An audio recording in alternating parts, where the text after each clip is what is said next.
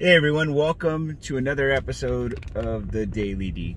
Today's topic is quitting. Now, how many times have you quit on something? Right? I think many of us have given up or stopped doing something. Now, quitting can be a positive thing when you're doing negative things.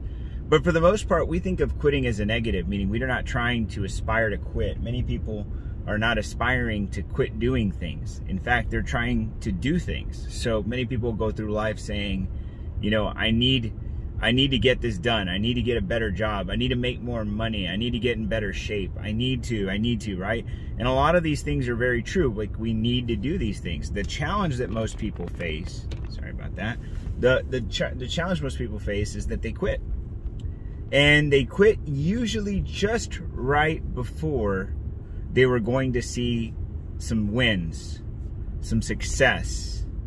Usually people will give up right before they're about to see success. Now, they don't know that and neither will you. We'll never know because you know why? Most people quit right before they are about to get where they need to be.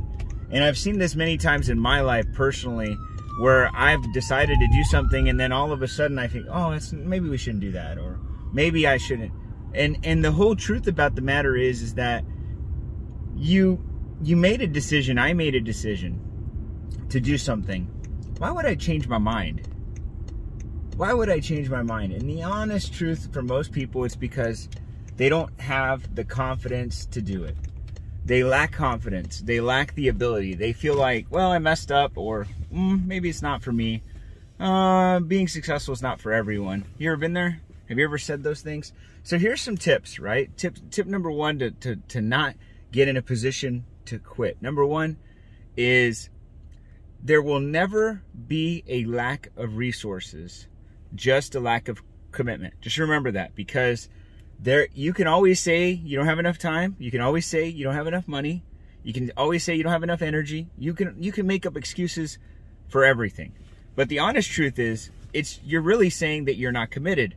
So recommit yourself every single day, the tip is to write down what you're committed to. If you're committed to losing weight, then write down, I'm committed to losing weight. I'm committed to losing five pounds, 10 pounds, 20 pounds, 50, whatever the number is. Write it down every single day without fail. Write, write it down. So, right, step number one is just reaffirm it every day.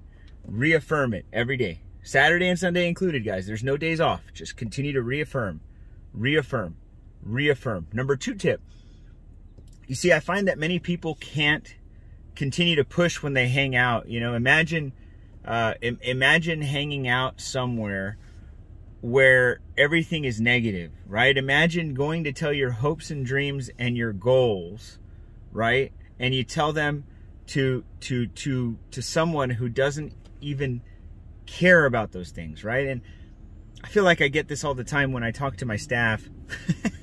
you know, I, I tell them about the things that I believe they should be working on personally because I believe how you perform at home is how you perform at work. And I always tell them about eating healthy and getting better and starting to, to, to, to, build skills. And I tell them these things.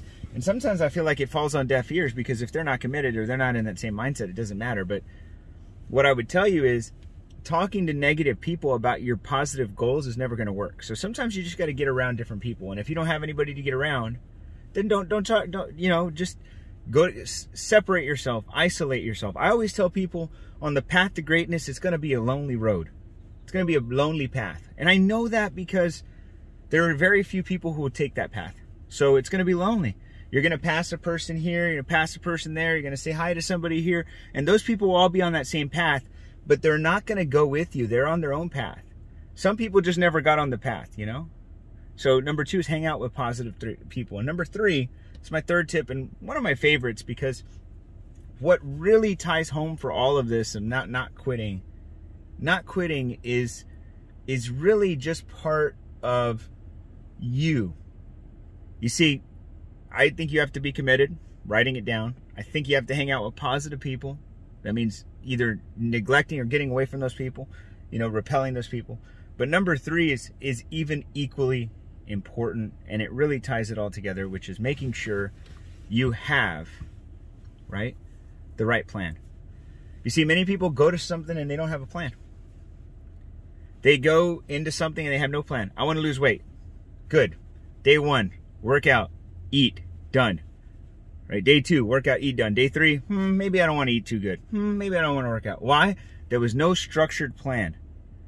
You see, I found that the most success I've ever experienced in life is when I have somebody in my corner who helps me with the plan, or, and I detail it out and I, you know, I plan it out.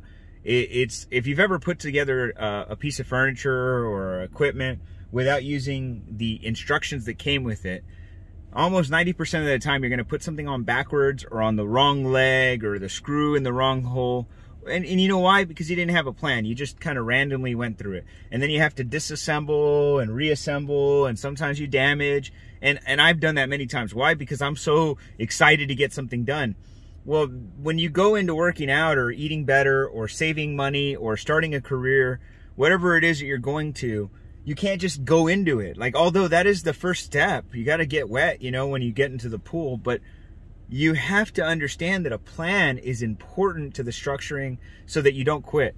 Day one does this, day two does this, day three does this, day seven, day 21, 90 days, and so on and so forth. This will prevent you from quitting. If you have a plan, you know, here, here's the statement. People who fail to plan, plan to fail. And failure is somewhat quitting. So I hope this helps you today in getting your structure so you, so you can avoid quitting and focus on winning. So I wish you nothing but health, wealth, success, but most importantly, freedom. Thanks, guys.